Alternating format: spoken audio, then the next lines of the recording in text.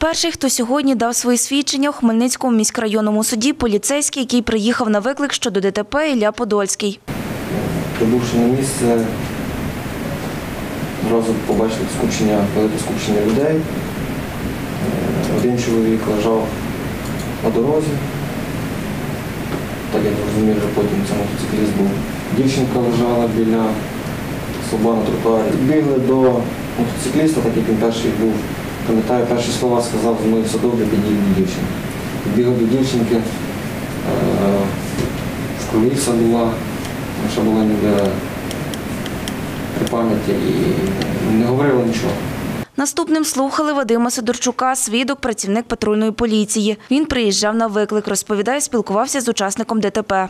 Побачили другого учасника дорожньо-транспортної пригоди, громадянин Турції, вже не скажу, як він, як він називався, як було. Давненько було. І не розумів української мови, тяжко було з ним спілкуватися. Потім згодом приїхав, е, я так зрозумів, його представник і якоби перекладач, так як він перекладав все, що ми з ним в нього питалися і допитувалися.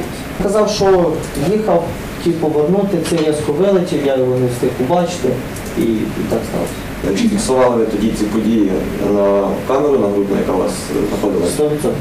І чи що, що там було зафіксовано? Що там може, може бути зафіксовано? Вадим Сидорчук каже, має відеодокази. Їх використають у наступних судових засіданнях. Каже, що мотоцикліста була перевищена швидкість Олексій Кухтін. Чоловік їхав позаду нього. Я їхав 60. Я їхав на межі 60 км на годину. Далі було б порушення. Він мене обігнав, наче я стояв. Ви сказали, що перевищив швидкість. А чи можете ви приблизно сказати, наскільки він перевищив швидкість? По-моєму, На мою думку, там сотня була.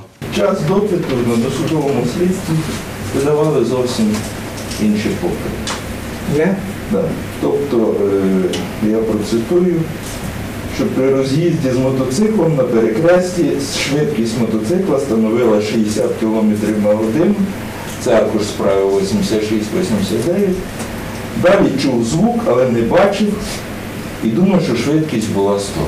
Олексій Кухтін відповів, не пам'ятає, що давав такі покази. Додає, швидкість мотоцикліста перевищувала 60 км на годину. Підозрюваний Сергій Владико покази свідків не заперечував і не коментував. Суддя міськрайонного суду Світлана Данькова зачитала ухвалу. Продовжити тримання під домашнім арештом з обмеженням підозрюваного до 10 вересня 2020 року. продовжити дію покладених на владику Сергія Вікторовича наступних обов'язків, прибувати до прокурора суду за першою вимогою, здати на зберігання до відповідних органів свій паспорт для виїзду за кордон інші документи, що дають право на виїзд з України, в'їзд в Україну в разі наявності, не відлучатися з населеного пункту, в якому зареєстрований проживаючий перебуває без дозволу прокурора чи суду. Наступне судове засідання відбудеться 18 серпня. Анастасія Збродова, Юрій Чорний. Новини на Суспільному. Хмельницький.